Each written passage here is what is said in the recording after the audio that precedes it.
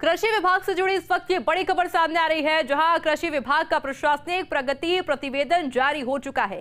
प्रशासनिक प्रगति प्रतिवेदन 2023-24 जारी हो चुका है। प्रतिवेदन में दिसंबर 2023 तक का आंकड़ा जारी किया गया है और किसानों को अट्ठाईस दशमलव उन्यासी बीज मिनी किट वितरित किए गए हैं। बीज स्वावलंबन योजना में एक लाख नवासी हज़ार सात सौ किसानों को बीज किए गए हैं वितरित और दिसंबर तक एक सौ चौवन दशमलव बाईस फ़सल बीमा पॉलिसियाँ सृजित की गई है। महिला सशक्तिकरण के तहत ग्यारह हज़ार तीन सौ इक्यासी छात्राओं को प्रोत्साहन राशि दी गई है। इसके तहत छात्राओं को एक हज़ार चार सौ नवासी दशमलव पचास लाख रुपए की राशि भी दी गई है। इसके अलावा एक लाख कृषि श्रमिकों को कृषि संबल मिशन का लाभ मिल सकेगा।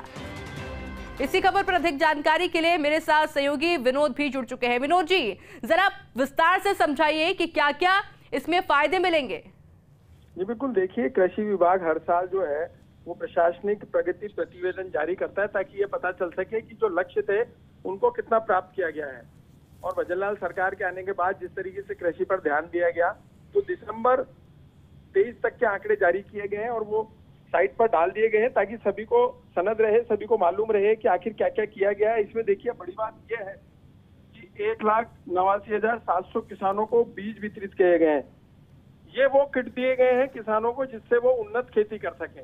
तो एक बड़े स्तर पर किसानों को संबल दिया जा रहा है, किसानों को तमाम चीज़ें बताई जा रही हैं। और अब देखिए, कल ही एक बड़ा दल, जिस तरीके से वो चीज़ इसमें शामिल नहीं की गई है, जो जनवरी फरवरी में नवाचार सरकार ने की है। कल ही एक दल आत्म योजना के तहत गुजरात गया है, जिसमें 300 से अधिक महिला कृषक गई हैं। तो राजस्थान के विभिन्न स्थानों से अलग अलग प्रदेशों में भेजा जाता है महिला किसानों को ताकि वो उन्नत कृषि के गुड़ सीख सके और उन्नत कृषि के गुड़ सीखने के बाद अपने खेतों में उसको इम्प्लीमेंट कर सके। तो वार्षिक जो प्रतिवेदन है, वार्षिक प्रति, प्रगति जो प्रतिवेदन है, वो हर साल जारी होता है और किसानों को इससे कितना लाभ दिया गया?